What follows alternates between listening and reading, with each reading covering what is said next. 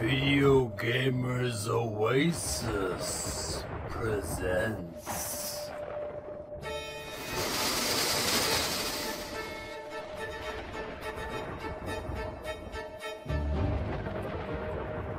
The October Scary Retro Point and Click Adventure Game. Walk through Marathon. Stay subscribed for further updates.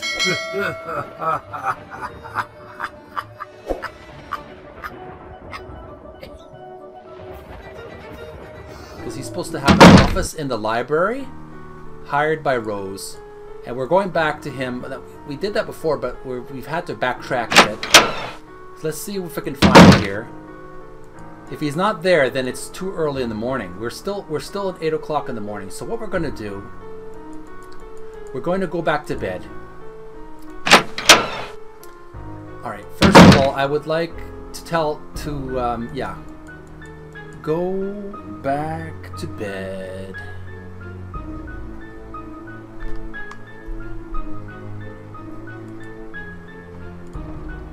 Going upstairs.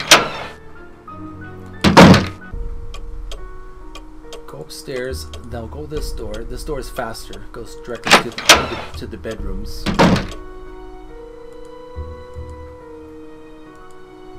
Alright, let's go through here. Up here, up, up, up, all the way to the top. Now we're going to go. Um, We don't want to disturb Abby. She's doing some some meditation, preparing for the séance. So let's. Oh yeah, there's going to be a séance later on, so that that ought to be interesting. Okay, let's go over to to the clock.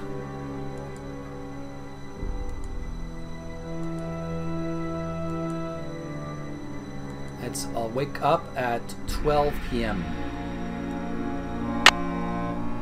Let's make it uh, 12 p.m. Set the alarm. Set. Beep beep beep. All right, all right, Nancy. We need to go back to the library where Louis Chandler should be there.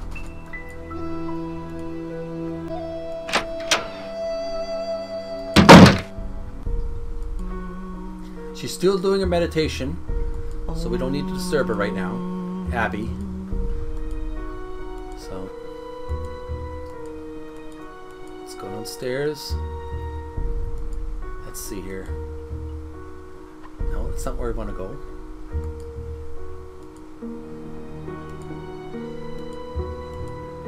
Alright. Let's check out Mr. Chandler not Gary Chandler, the comedian, but his name is Louis Chandler, and he is the consultant for rare antiquities.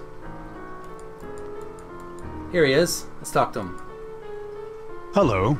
I was so wrapped up in my book, I didn't hear you come in. My name is Louis Chandler. Surprise. Let's see. I didn't mean to startle, startle you. I'm Nancy Drew. I came to help Rose and Abby with the new renovations. I didn't mean to startle you. I'm Nancy Drew. I came out to help Rose and Abby with the renovations. Yes, well, I'm very glad you're here. Are you a friend of Rose?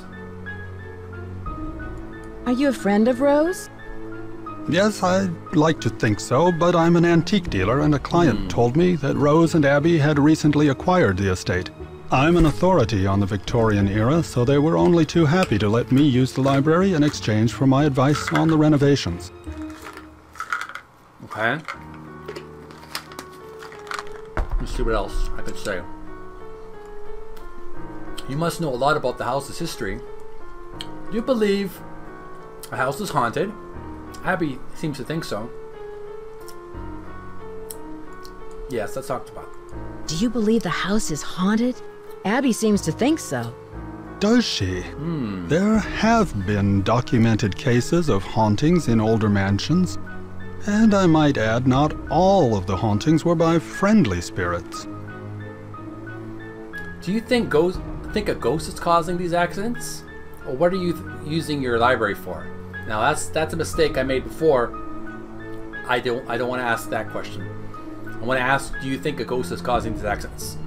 Do you think a ghost is causing these accidents? Accidents? I know Rose has mentioned some inconveniences like that wall covering and the light supplies, but I would hardly call those accidents. Hmm. I'm sorry, but I'm quite busy at the moment, and although I'd like to talk, I really don't have the time. Please, excuse me. All right. Let's move around. Let's move back. There's nothing else we can ask him right now. Wonder if there's anything we can use with those 12 tiles. the tiles, of course. Missing tiles.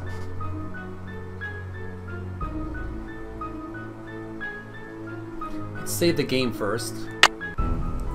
Save the game as uh, antique dealer. All right, good. Let's uh, get back to the game. Let's see if we can use these tiles. I think they go they go into different slots here.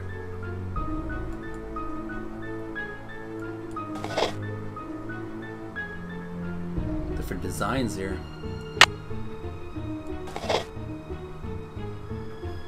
Apparently they're not uh, not complete.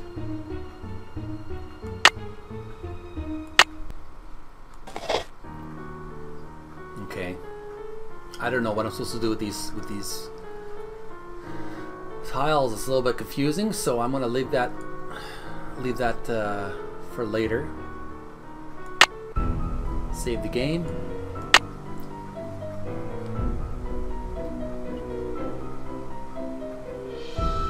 Save that as antique dealer.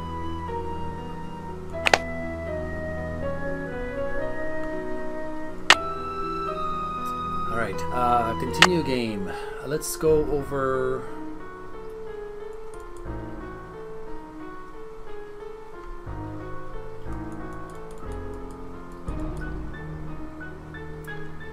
Um,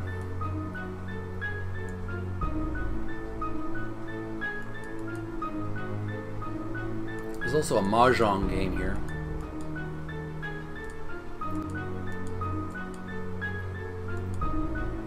Piece of the mahjong. When the four sided box loses its border, It's a bit of a riddle there. Let's get back here. Get back to the telephone. We're gonna go to the ticket. Use the telephone. If we just find the telephone, it's the corner here. Here we go. All right, let's call home. Uh, one, five, two, three, five, five, five, three, seven, three, nine. Calling Nancy's uh, family. Drew residence, Hannah Gruen speaking. Hi, Hannah. Nancy, how are you? And how's Rose? Uh, great. I'm really glad you had Rose invite me out here. Her house is so beautiful. Fine, but I didn't realize she was so young. How did you meet her? Uh, great. I'm really glad you you had Rose invite me out here. Her house is so beautiful. Great. I'm really glad you had Rose invite me out here. Her house is so beautiful. I'm so happy you're out there. But I'm worried about all the accidents she's having. There's just been so many. What has Rose said about them?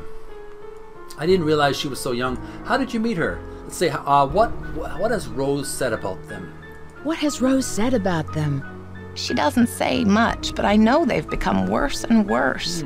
That's one of the reasons why I asked you to visit her to see if everything is all right.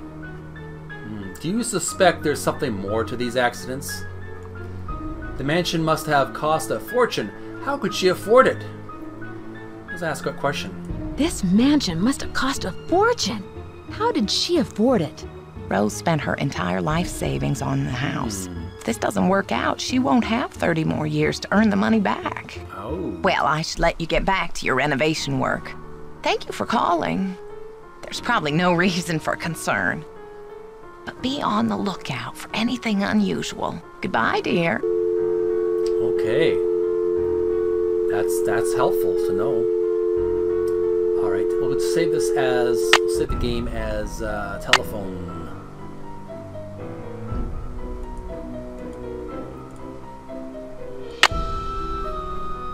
Telephone.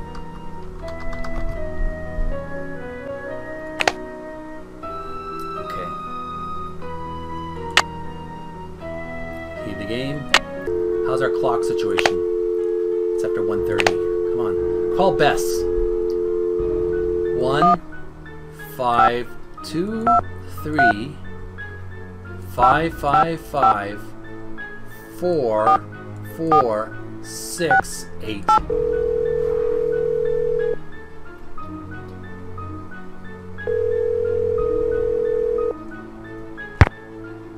Hello? Hi, Bess. It's Nancy. Hi, Nancy. George is here. Let me put her on the speakerphone. Nancy? Hi, George. Hey, what's up? I'm in Hey, San? Francisco helping a friend of Hannah's renovate an old Victorian mansion. She wants to open up a bed and breakfast. Unfortunately, some strange accidents have delayed the project. Uh oh. Oh. Well, get this. One of the owners, Abby, thinks the place is haunted by a ghost named Valdez. A ghost? Well, I'm glad I'm not out there. Sounds like another case is in the works. So tell us more about what's been going on. Do you know anything about the house's history? I met the resident handyman, Charlie. He's a pretty young. He's pretty young, and I don't think he has much experience. Rose is really lucky. This antique dealer, Louis Chandler, is helping her out, although he doesn't know very much about the house's history. Can you guys give me a clue? I'm not sure what to do next. Um, you know anything about the house's history? Rose is really lucky. This antique dealer, Louis Chandler, is helping her out, although he doesn't know very much about the house's history. Rose is really lucky. This antique dealer, Louis Chandler, is helping her out, although he doesn't know very much about the house's history. That makes sense. If the house was built before 1906, most of its records were probably destroyed in the earthquake. But wouldn't he know at least something about it if he's some kind of expert on old things? I'm sure he knows a lot about old stuff, just not architecture or houses.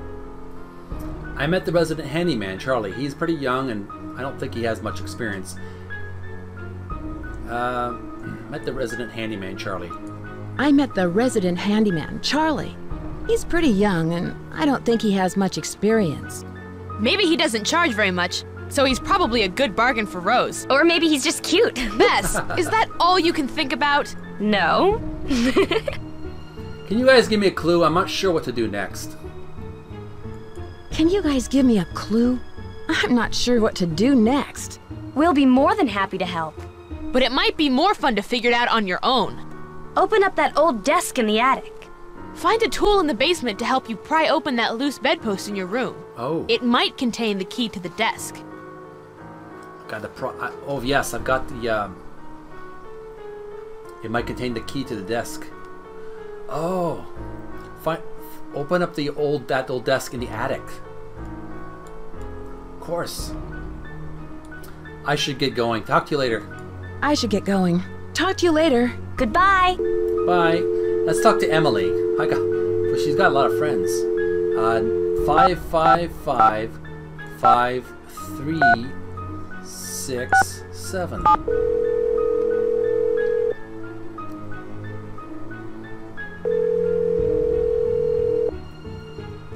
This is Emily. Hi, Emily. It's Nancy Drew. Nancy Drew? I haven't heard from you in ages. How's Hannah in River Heights? You're not in San Francisco, are you, my dear? Actually, I am. I'm helping one of Hannah's friends, Rose Green, renovate this wonderful old Victorian mansion. She wants to open up a bed and breakfast. Sure I am. I'm staying, with- staying with Rose, Green, a friend of Hannah's in a Victorian mansion. I'm helping her out with renovations. I sure am. I'm staying with Rose Green, a friend of Hannah's, in a Victorian mansion. I'm helping out with renovations. You know, you're lucky you caught me at home. I've been traveling most of these days, but after that crazy tour of Egypt. By the way, riding a camel is not as easy as it looks. My editor gave me an assignment right here in town.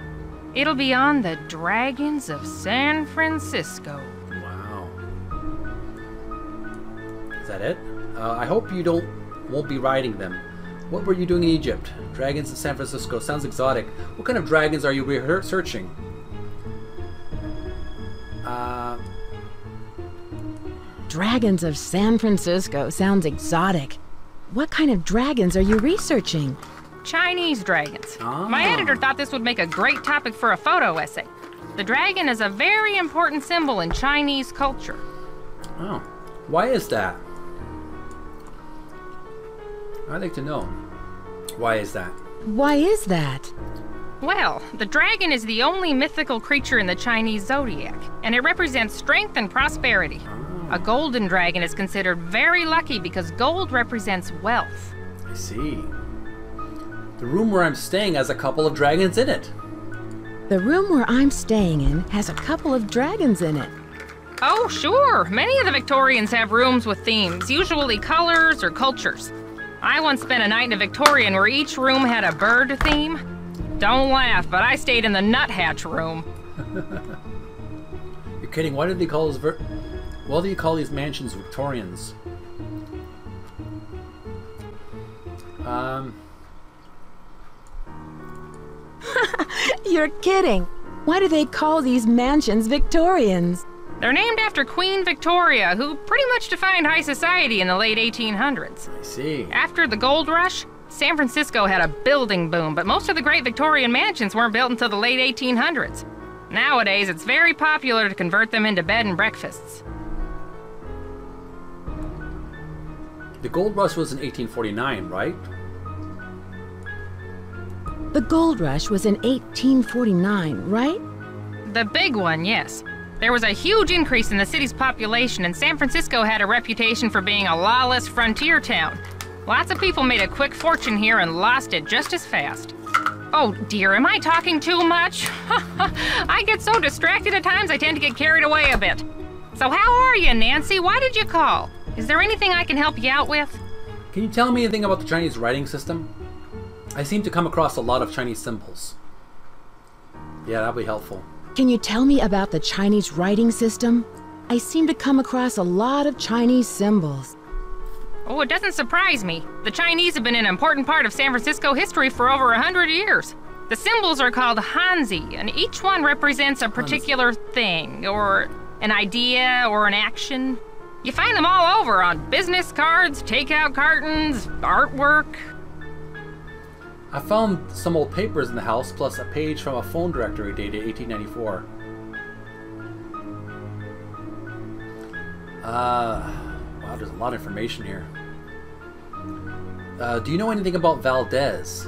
Do you know anything about Valdez? I don't think so.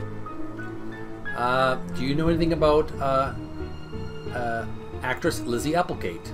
Have you heard of an actress, Lizzie Applegate? Oh, sure, she was a good friend of Lotta Crabtree, another popular actress in the late 1800s. As I recall, she opened up a big hotel. What was it called? The Hotel Mandrake or the Oriental? I forget. Was it in this neighborhood? Is it still around? Was it in this neighborhood? Is it still around? Oh no, this one was downtown. It was very big, but I think it burned down. Oh. Have you ever come across hidden rooms in Victorian mansions? Have you ever come across hidden rooms in Victorian mansions? No.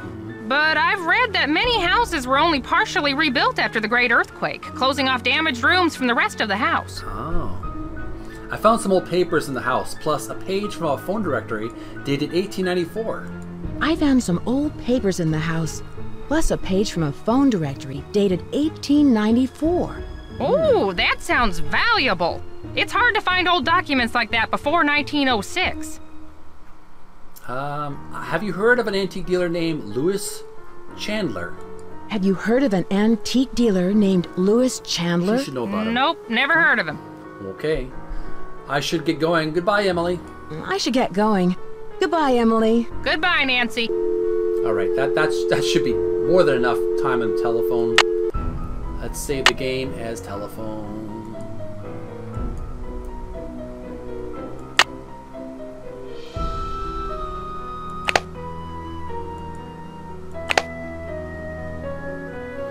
Let's get back to the game.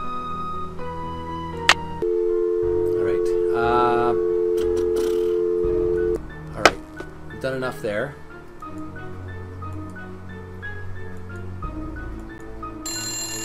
Okay. Someone's ringing the telephone here.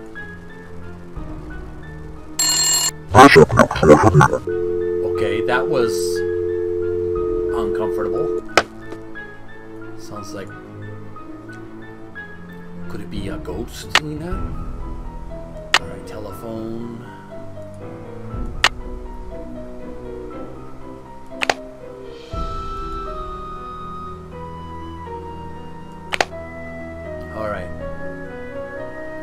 Now we're gonna get back to where we were.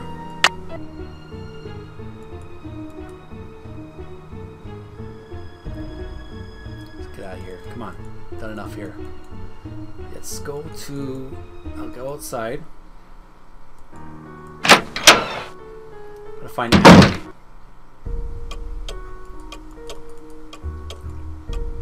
Oh, what's that? I saw a shadow. Shadows cross the floor before my eyes.